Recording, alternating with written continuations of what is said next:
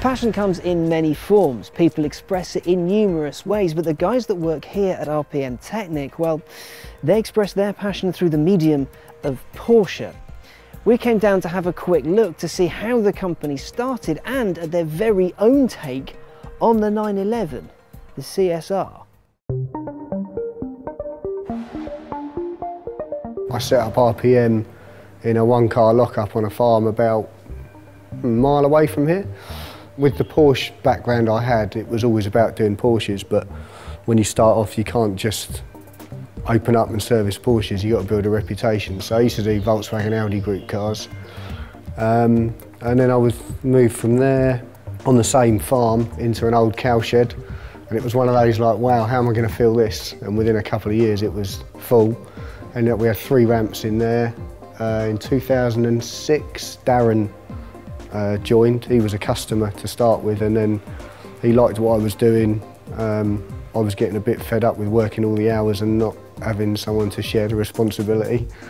And uh, yeah, Darren and I have been working together since then. From that point, we expanded our technician base. We put more ramps into the cowshed um, and put more tooling in and engine building facility. Uh, and over time, we, we integrated all of the equipment that we needed to run a first-rate Porsche servicing specialist. We do servicing, we do sales, we do track day preparation, we do track day support, we do race support with the GT3 uh, Cup car that we're supporting this year.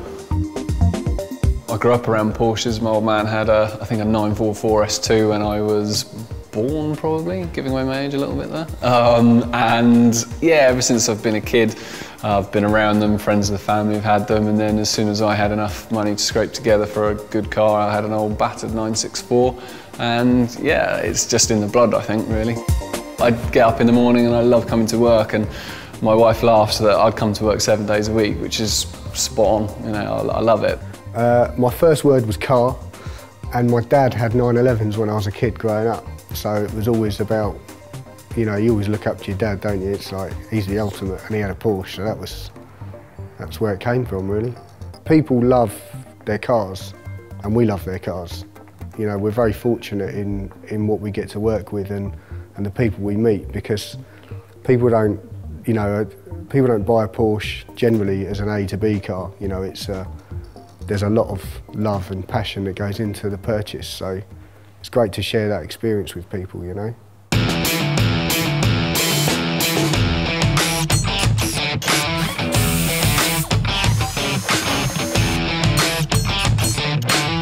We've always sort of done cars up and had our own track toys and stuff like that. And what we found was, you know, the GT3 is, you know, it's a fantastic car, but it doesn't have back seats. So we thought, well, there's, there's, a, there's a sort of a gap in the earlier cars for that type of vehicle, something that's capable on track, so you can finish work on a Friday afternoon, nip up to Bedford for a track evening, buzz around for the afternoon, and then come home, and then the next morning take everyone out.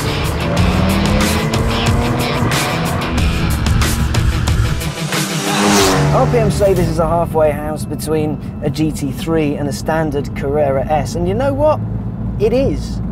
You can take someone out it and they won't have their teeth, well, destroyed by bone-shattering suspension. At the same time, when you're on it in this, it feels really good. And what they've done with the suspension, with the diff, you can put it into a corner, you can give it some, and well, it'll reward you rather than punish you. It's not a jittery car, it makes you feel safe, it makes you feel happy, it makes you feel comfortable. With the CSRs, we, we don't take cars and add more speed by just putting a turbocharger on it and getting a load more horsepower and then chucking it out there and going, there you go, look how fast that goes. We look at it in a different concept. We're looking at trying to take what Porsche have already put out there and then tweaking it with the best of the suspension setups, the best of the drivetrain options, and just making the very best of what is essentially a good platform. First of all, we rebuilt the engine um, for reliability, basically, because we knew it was going to do a lot of track work. So we, we strengthened the engine. Um, it's got a lightweight clutch and flywheel to make it more responsive, get rid of the dual mass.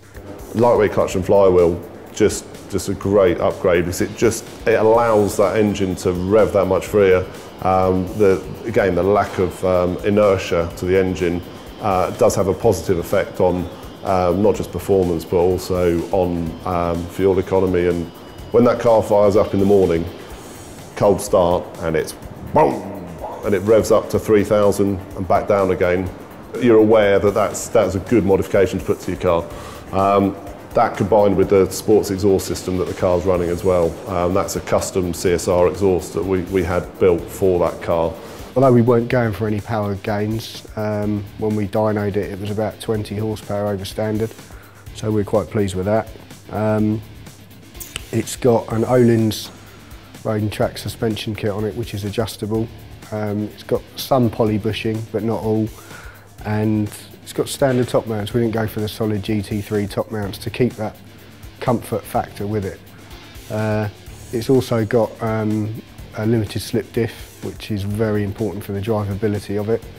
Um, it's got a carbon fibre ducktail to remove weight from the right place and a bit of styling. You know, we wanted to make it stand out, but not obtrusively so. You know, we want it to look like a car that Porsche would have made. I think, I guess, I've, probably one of our best compliments was um, people going and saying, well, which model's that? You know, they, they, they genuinely thought that car had rolled out of, uh, out of the factory.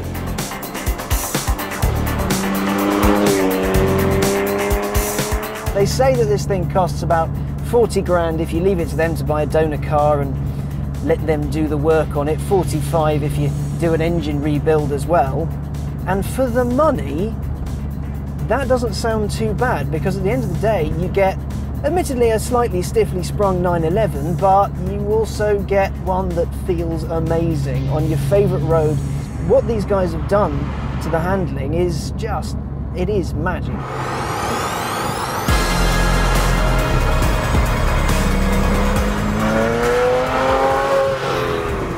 What RPM have done is they've exploited everything they've learned, everything they know, all the engineering tips and tricks they've picked up over the years and made the car that Porsche couldn't. I suppose the direct comparison would be to the uh, to the 997 GTS, which was kind of the greatest hits collection. It had a bit more power, the springs were a little bit differently set up, but this feels more hard edged than that. Personally, it might be a little bit too harshly set up for me. That said, I am dying to take it onto a track At the end of the day, if you want a car that can feasibly do everything and have back seats and be a track car and make you smile every day, this is a very, very viable solution. It's it's a really great car. And all the detailing they've done to it as well, all the CSR badging, everything feels Porsche. It feels like it could maybe have been stock. Every morning I wake up and I'm excited to go to work and that is still now, you know, even what we 13, 12, 13 years on. It's, uh, you know, like I say, the product we work with, the people we meet, um, just love it. It's never, never a dull day.